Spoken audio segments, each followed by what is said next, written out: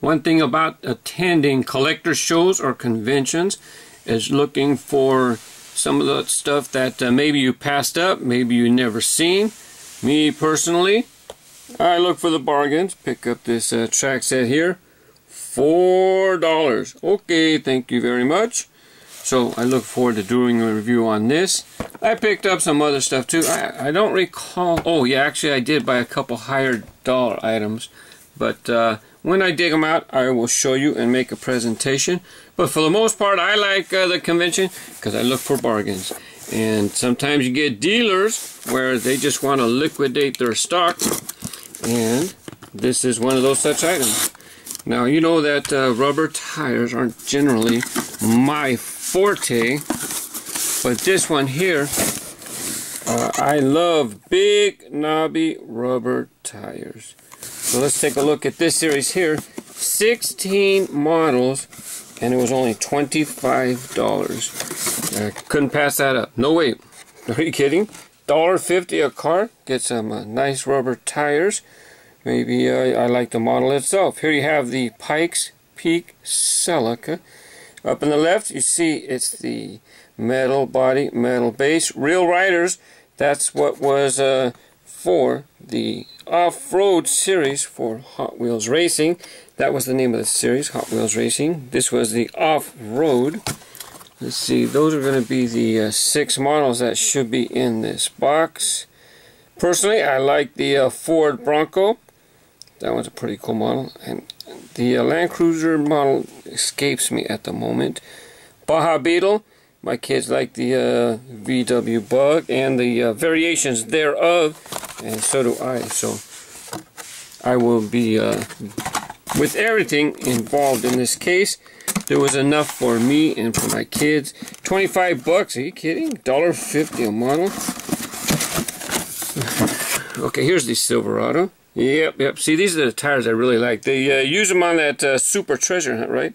Here you have the 83 Chevy Silverado 4x4. Nice, big, now there's a manly man truck, huh?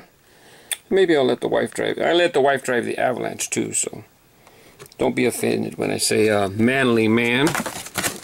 There's two models out of the case. Here is the Land Cruiser 4x4. I like these tires too.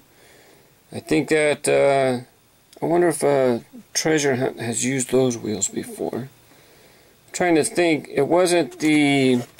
I'll have to... If I can think of it, I'll come back. Can't think of that. What was that treasure hunt? The orange one.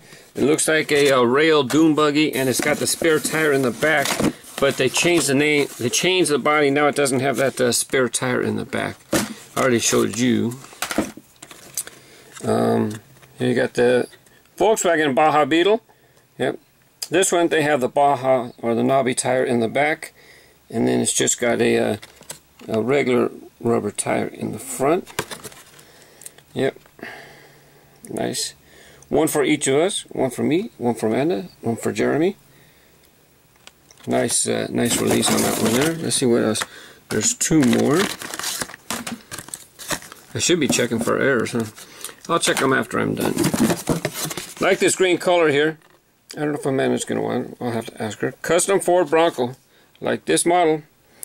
Actually, isn't the one that they used in that uh, five pack where I did the uh, track. I'll have to make that a link at the end where I sent the. Uh, might be this model. Did it on a gravity track, sent it through a loop. Oh, unfortunately, look, it's got the, uh, the regular plastic tire in the back. That would have been cool if they put these wheels. I really like these wheels. Big rubber tires. Ain't no rubber band tires. Let's see what else we got here. We got, uh, and there's the last one. You got the uh, Sandblaster Hot Wheels creation. Mm-hmm. Nice big tires. Anyways, uh, yeah, quite a deal. Had a blast at the convention, meeting a lot of collectors. Thanks for uh, for those of you who heard me talking in the room. It was kind of funny. They would uh, they'd be in the hall. And as long as I didn't talk, nobody knew who I was, but or fewer people know who I was. But as soon as I hear start talking, people can recognize that voice.